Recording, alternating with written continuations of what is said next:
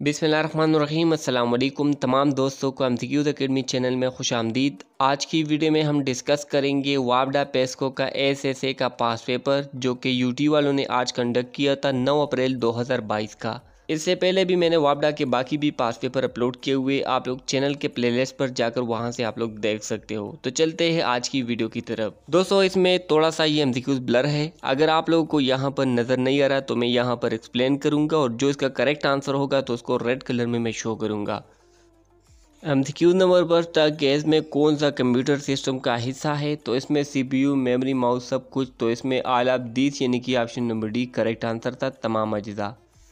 Question number two है कि कानूनी तबादला के मुताबिक ए प्लस बी के बराबर है नंबर डी करेक्ट आंसर था। टी है कि one byte is equal to तो वन बाइट बराबर है, आठ बिट के बराबर है तो option number D correct answer है, आठ।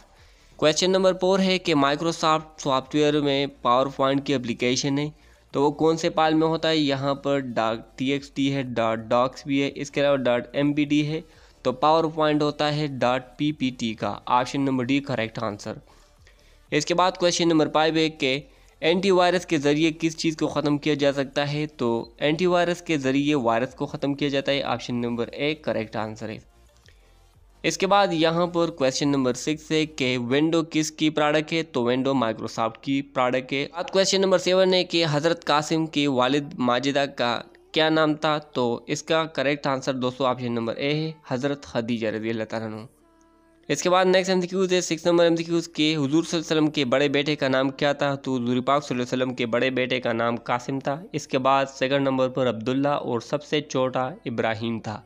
तो यहाँ पर सबसे बड़े बेटे का ज़िक्र किया है? तो इसका नाम है Qasim. Option number B correct answer है। इसके बाद क्वेश्चन नंबर नाइन है कि नमाज़ इसका किस चीज़ को रोकने के लिए पढ़ी जाती है? तो नमाज़ इसका बारिश को रोकने के लिए तो correct answer option number D है बारिश।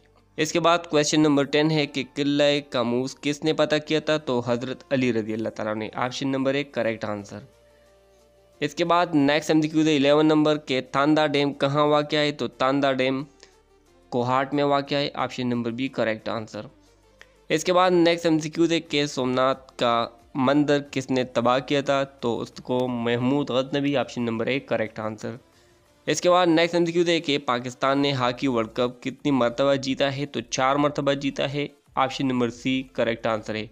और लास्ट टाइम पाकिस्तान ने जो वर्ल्ड कप जीता था, हॉकी का तो 1994 में।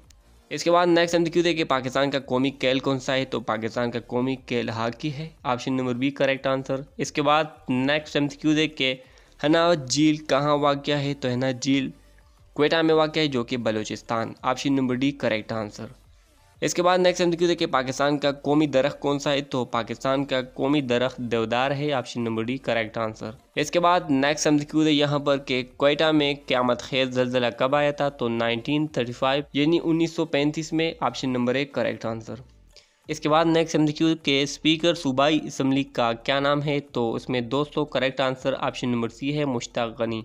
नेक्स्ट एम के हाई लेवल लैंग्वेज इसमें नहीं है। इसमें कौन सा ऐसा लैंग्वेज जो कि हाई लैंग्वेज नहीं है? तो assembly language option number D, correct answer.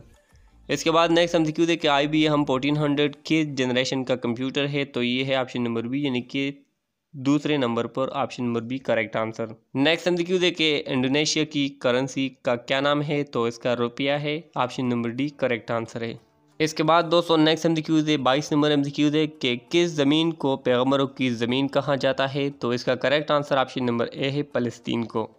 Next M queues है कि बीबी उम हबीबा का असल नाम क्या था? तो ये जूनियर क्लर्क कल वाले पेपर में भी था तो इसका असल नाम था रमला।